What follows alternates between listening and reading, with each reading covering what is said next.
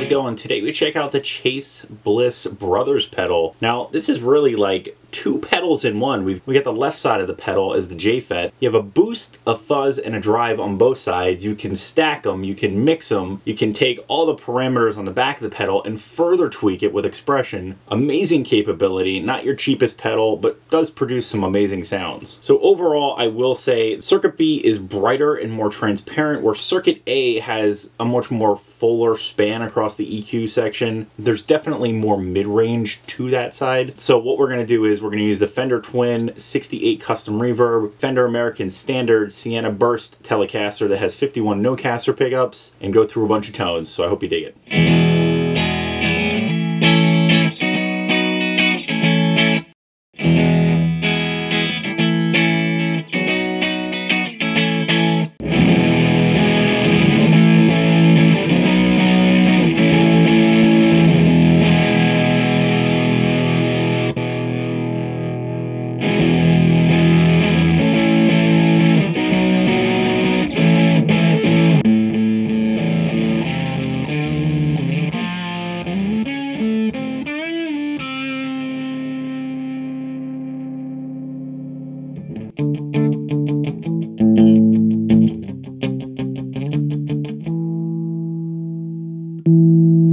Thank